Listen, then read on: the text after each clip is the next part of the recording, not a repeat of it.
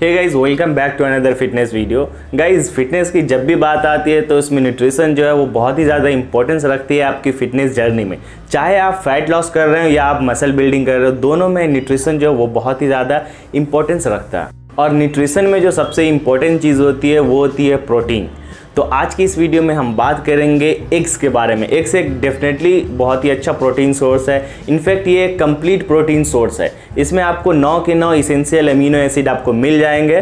तो आज की इस वीडियो में हम बात करेंगे कि क्या रॉ एग्स खाना सेफ़ है हमारे बॉडी के लिए या नहीं। तो गाइस कच्चे अंडे खाना या पीना बहुत ही कॉमन सी बात है। आपने भी ऑब्ज़र्व किया होगा, बहुत सारे लोगों को कच्चे अंडे पीते हुए, खास करके फिटनेस और बॉडी बिल्डिंग कम्युनिटी के जो लोग हैं, उनको आपने देखा होगा। और अगर आपके घर के आसपास में कोई लोकल जिम होगा तो उसके ट्रेनर भी आपको रिकमेंड किए होंगे कि कच्चे अंडे खाओ। लेकिन अगर हम कच्चे अंडे की साइंस की बात करें तो कच्चे अंडे खाना बहुत ही ज़्यादा बेवकूफ़ी है। क्यों? उनके तीन मेन रीज़न है कि क्यों आपको कच्चे अंडे नहीं खाने चाहिए। तो पहला रीज़न ये है कि रॉ एग्स में से आपका बॉडी पूरा प्रोटीन ऑब्जॉर्व नहीं करता है, क्योंकि रिसर्च में पाया गया है कि रॉ एग्स की जो बायोएबिलिटी होती है, वो सिर्फ़ 50 परसेंट होती है। बायोएबिलिटी क्या होती है? जब भी हम किसी भी प्रोटीन सोर्स को अपने बॉडी में कंज्यूम करते हैं तो हमारी बॉडी कितना ऑब्जॉर्व करती है, उसी प्रोसेस को हम बायोएबिलिटी प्रोसेस कहते हैं। तो जैसे वे प्रोटीन की जो बायोएबिलिटी होती है, वो 100 परसेंट होती है। तो हमारी बॉडी जो है वे प्रोटीन को 100 परसेंट एब्जॉर्ब कर लेती है। लेकिन रॉ एग्स के अंदर जो बायोएबिलिटी है, वो सिर्फ़ 50 परसेंट होती है। यानी कि अगर एक अंडे के अंदर आपको 6 ग्राम प्रोटीन मिलती है तो आपकी बॉडी जो है, सिर्फ़ 3 ग्राम प्रोटीन को एब्जॉर्ब करती है। लेकिन अगर आप उसी अंडे को अगर पका कर खाते हैं तो उसकी बायोबिलिटी जो है वो 90 परसेंट से ज़्यादा हो सकती है।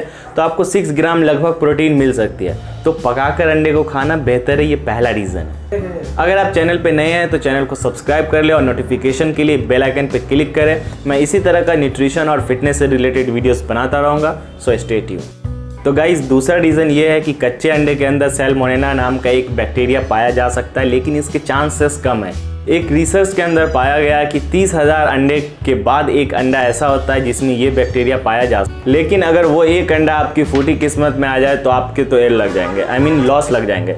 तो डाइट और एक्सरसाइज की तो छोड़ो, आपको डॉक्टर के चक्कर काटने पड़ जाएँगे तो फालतू का रिस्क क्यों लेना? और उसमें भी आपको सिर्फ़ तीन ग्राम प्रोटीन आपको रॉ एग्स से मिलता है तो बेटर है कि आप उसे पका कर खाएँ। ये दूसरा रीज़न था। तो गाइज़ तीसरा रीज़न ये है कि कच्चे अंडे खाने से हमारे बॉडी की जो विटामिन बी थ्री की ऑब्जर्वेशन पावर जो होती है, वो ब्लॉक हो सकती है। लेकिन उसके लिए आपको ज़्यादा कच्चे अंडे खाने पड़ेंगे लगभग आठ से दस, तभी ऐसा होता है, जो कि आई डोंट थिंक कि कोई आठ से दस कच्चे अंडे खाएगा एक दिन में। तो ये काफ़ी छोटा रीज़न था तो ये थे तीन रीज़न जिसकी वजह से आपको कच्चे अंडे नहीं खाने चाहिए। तो यार, कोई भी इंसान कच्चे अंडे तब खाएगा जब उसे कोई बेनिफिट हो। इससे न कि कोई बेनिफिट है, बल्कि आपके बॉडी को नुकसान ही पहुँच सकता है और ना आपको पूरा प्रोटीन सोर्स मिल सकता है। तो क्या कच्चे अंडे खाना एक अच्छा प्रोटीन सोर्स है? जवाब है नहीं। इनफैक्ट ये आपके बॉडी को नुकसान भी पहुँचा सकता है। सो आई होप कि आपको ये वीडियो पसंद आई हो। अगर आपको वीडियो ये पसंद आई हो तो हमारे चैनल को सब्सक्राइब कर लें। इससे थोड़ा सा मोटिवेशन मिलती है। तो वीडियो को लाइक करें शेयर करें अपने दोस्तों के साथ। और thank you so much for watching this video